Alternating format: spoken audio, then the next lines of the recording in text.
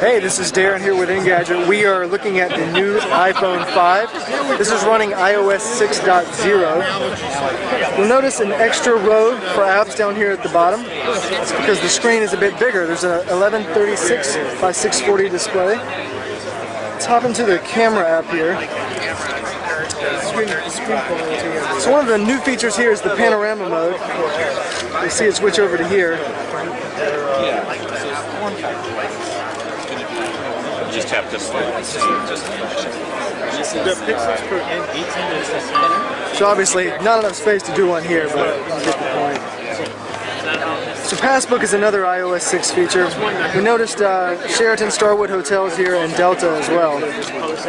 New since the original introduction. Quite a bit thinner and lighter. It is a little bit taller, but it's kind of amazing how much lighter this feels compared to the 4S. You'll notice the two-tone colors here, harkening back to the original iPhone. The new 8 megapixel camera with a LED flash.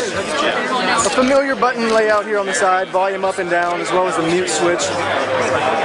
Familiar home button here at the bottom.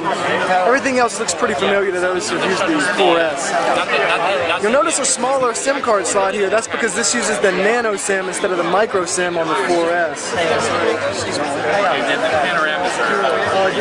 Same grid down here. I'm going to put it up beside the 4S here just to give you a look at the size dimension difference. So you'll see just a little bit of a difference in height here. And it's quite a bit thinner.